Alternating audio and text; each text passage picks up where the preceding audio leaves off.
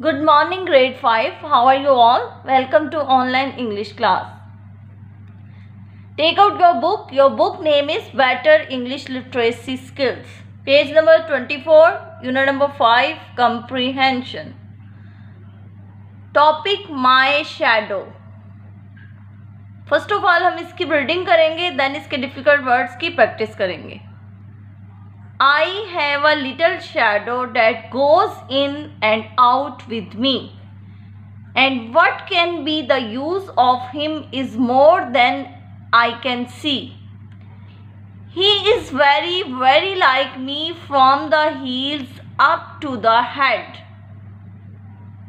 And I see him jump before me when I jump into my bed.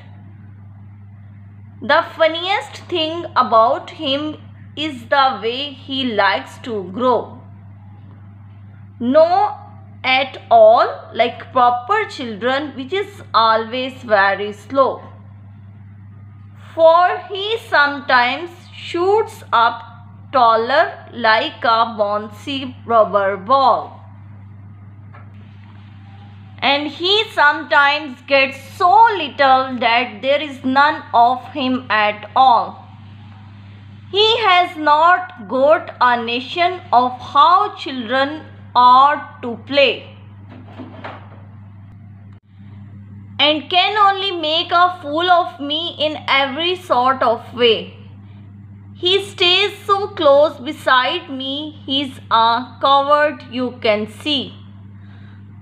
I would think shame to stick to nursie as that shadow sticks to me. One morning, very early before the sun was up, I rose and found the shining dew on every buttercup.